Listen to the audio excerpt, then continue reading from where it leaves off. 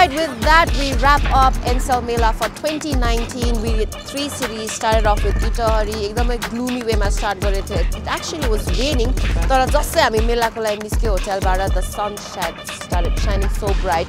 Then we headed on to Birta Mode. Birta Mode was, the energy was just so amazing for everyone and we soaked it in and then we landed here in Butwal र त्यो energy चाहिँ फेरि हुन्छ नि बुटवलको क्राउडले हामीलाई दियो I think we just wrapped it up in such a wonderful way the crowd wanted more and that's what we wanted to and it at because if we satisfy the crowd, you know, there's nothing to look forward to in the next Mela that we do. But again, not to forget, this is also Visit Nepal 2020 campaign in some ways because we're traveling east to west, mostly by roads as well. We're going to all the local places, trying the local food, and everyone coming here will post, share a moment from the trip. And you know, this is just has been an amazing trip.